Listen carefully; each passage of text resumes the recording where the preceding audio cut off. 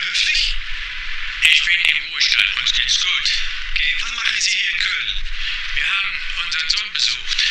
Was machen Sie hier in Köln? Wir machen Deutschsprachkurs. Ah, und Sie kommen aus? Ich komme aus Brasilien. Ah, ja. Wir haben eben schon.